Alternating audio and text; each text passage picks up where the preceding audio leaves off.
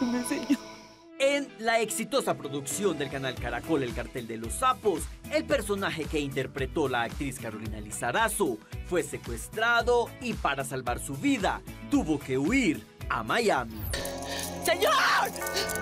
¡Espérate! ¡Espérate! ¡No me deje aquí, por favor! ¡Te lo suplico, por favor! Pero desafortunadamente, la realidad superó a la ficción cuando el papá de Carolina fue secuestrado y no logró huir para salvar su vida. En realidad, eh, mi historia eh, no es la más feliz. Yo nunca me hubiera ido de Colombia. Amo Colombia, la tengo en mis venas.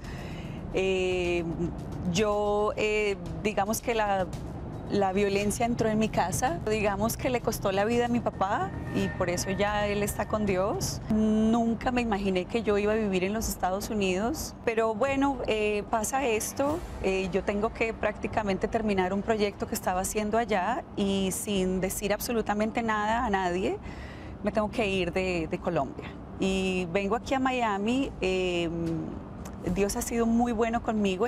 Pero el trabajo se puso difícil y la actriz se vio obligada a recurrir a la empresaria.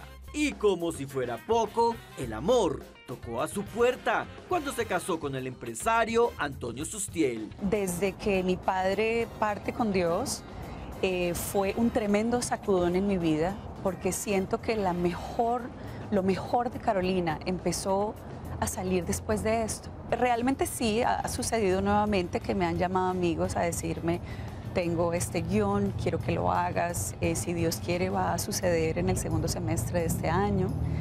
Ya son dos guiones, como pueden entender. Cuando yo me fui de Colombia, me fui lastimada, me fui eh, con mucha rabia y me tomó unos años poder procesarlo todo y darme cuenta que el destino es el destino y no es el lugar, ni es la cultura, ni es lo que sucede, ni son las historias del pasado de un país. El ser humano se adapta a absolutamente todo. Pero cuando yo ya hice pases con mi país, cuando yo regresé y me di cuenta de lo maravillosa que es Colombia, de lo hermosa que es la gente, de lo deliciosa que es la comida, de los serviciales y lo buenos que somos, es muy difícil encontrar esa calidad de ser humano en otras partes del mundo.